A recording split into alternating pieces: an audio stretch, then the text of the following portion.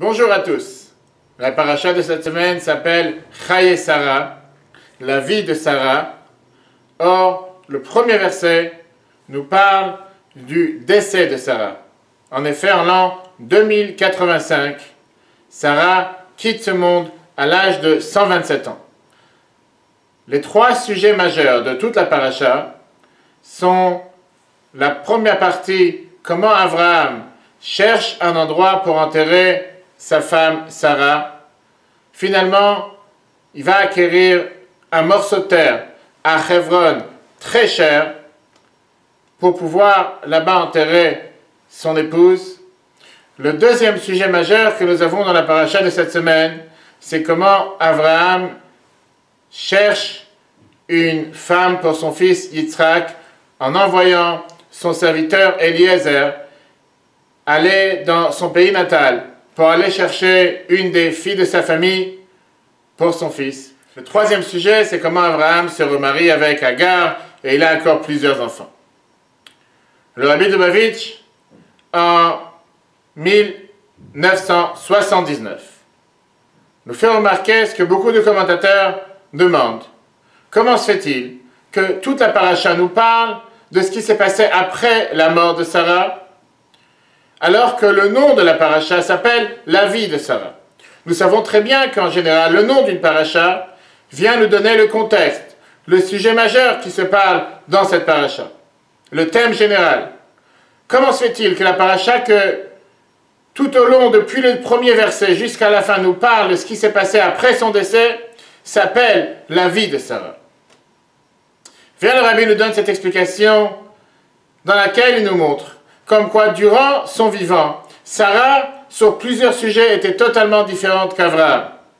Sarah était plus exclusif, Abraham était plus inclusif.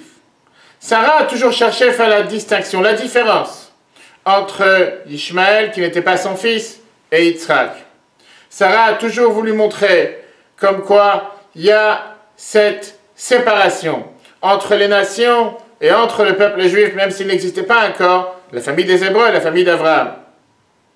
Abraham était celui qui était all inclusif, qui veut dire n'importe quelle personne qui voulait passer par sa tente, pouvoir manger, se rafraîchir pendant ces longues journées dans le désert avec cette grande chaleur était le bienvenu, sans différence de quelle croyance, de quelle obédience.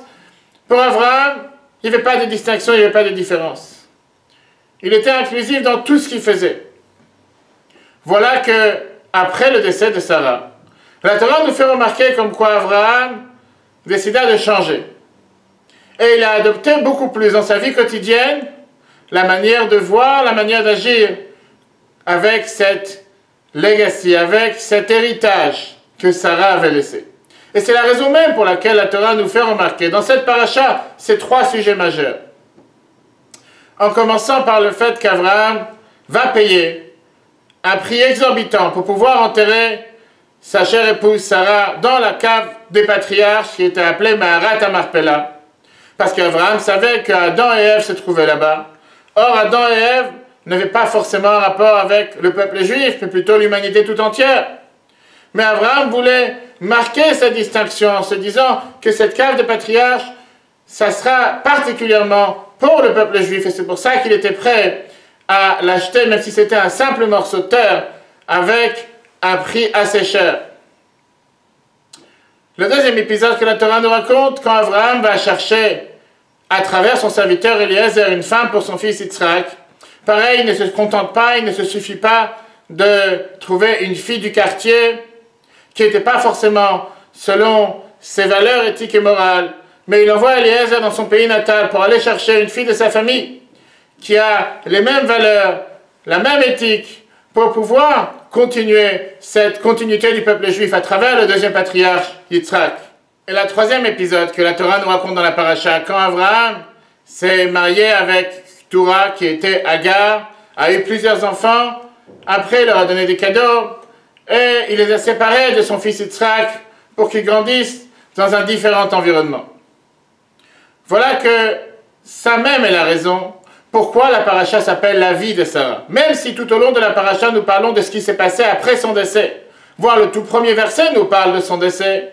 Mais la Torah veut nous faire remarquer comme quoi son héritage, ce qu'elle a marqué dans sa vie, a été perpétué, continué à travers la manière d'agir d'Abraham, comme nous le démontrons tout au long de cette paracha.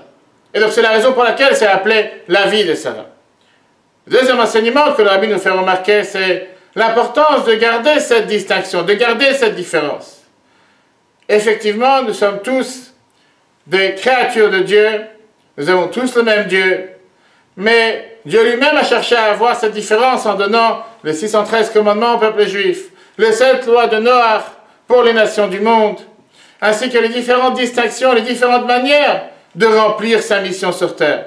À nous de s'assurer que nous protégeons cette distinction, cette différence, et nous continuons tous ensemble, chacun en fonction de sa mission, chacun en fonction de son devoir, à faire en sorte que ce monde devient un monde meilleur jusqu'à très prochainement mériter voir la divinité sur terre avec la venue de Mashiach.